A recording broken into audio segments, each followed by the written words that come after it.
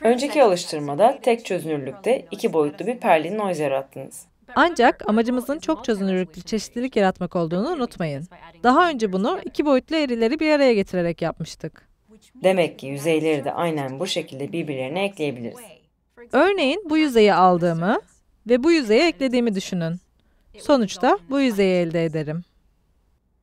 Farklı çözünürlükteki iki boyutlu desenleri nasıl karıştırdığımızı göstermek için bu uygulamayı geliştirdik. Basit bir kare deseni örneğiyle başlayalım. Burada düşük çözünürlüklü, orta çözünürlüklü ve yüksek çözünürlüklü birer desen var. İşte bu da bunları bir araya getirmenin sonucunda ortaya çıkan görüntü. Her çözünürlüğün ortaya çıkan son görüntüye ne kadar katkıda bulunduğunu belirlemek için genişlik ayarlarını da ekledik. Evet, tıpkı daha önceki uygulamadaki gibi. Ayrıca şuradan temel rengi de değiştirebilirsiniz. Çok hoş. Şimdi bu kare desenden bir önceki alıştırmada kullanılan rastgele desenlere geçelim. Artık farklı farklı görüntüler yaratabiliriz. Aslında bence artık bu işi dinozor bacağı için uygulamaya da hazırız. Haydi yapalım şunu.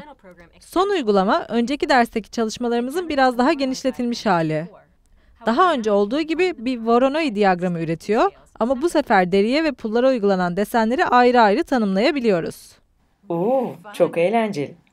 Küçük bir örnek vereyim. Bu ana panoda pulların boyutunu ayarlayabilir ve bölgeleri manuel olarak ekleyebilir ya da silebiliriz. Bunu ilk dersimizde yapmıştık. Şimdi deri kontrollerine geçelim. Burada hem temel rengi hem de parlaklığı ayarlayabilirsiniz. Burada biri düşük çözünürlüklü desenin genişliğini ayarlamak için, biri orta çözünürlüklü ve diğeri yüksek çözünürlüklü genişlik için olmak üzere 3 ayar düğmesi var. Dolayısıyla istenen görünümü elde etmek için burada üzerinde oynayacak çok şey var. Pulların kontrolleri de aynı şekilde yapılıyor. Böylece pullar için deriye tezat duracak, tamamen ayrı bir görünüm oluşturabiliyorsunuz. Dikkat ederseniz burada seçeceğimiz iki temel renk var. Birinci renk daha küçük pulların rengini, ikinci renk ise daha büyük pulların rengini belirliyor. Diğer pullar da temel renklerimiz arasından bir renk alıyor. Bir önceki derste Tia'nın örnek çalışmasında belirttiği sarı ve yeşil renkler arasında yer alan doğal renk çeşitliliğini elde etmemizi sağlıyor. Kesinlikle. Deseninizi test etmeye hazır olduğunuzda buraya tıklayarak bunu 3 boyutlu olarak görüntüleyebilirsiniz. Bu modelleme bitmiş deseni bacağın etrafına uygulayarak nihai görüntünün nasıl olacağı hakkında size fikir verecek. Şimdiden gayet güzel görünüyor. Tamam şimdi burada duralım. Artık bu kontrolleri devralarak kendi dinozor derinizi yaratma sırası sizde.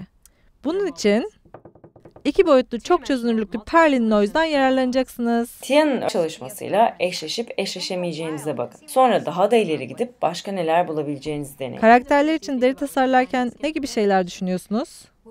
Pek çok farklı şey düşünüyoruz. Mesela her bir deri hücresinin kabarıklığını.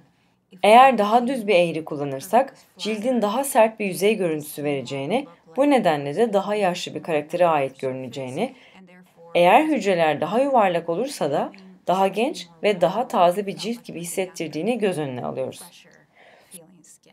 Sonunda bu fikirle elimizde bir deri paketi oluştu.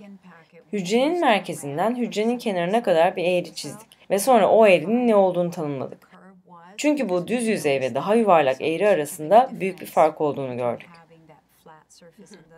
Dolayısıyla eğrinin kendisini sadece hücrelerin her birinde bulunan desenlerle matematiksel olarak tanımlayabildik. Çok iyi. evet.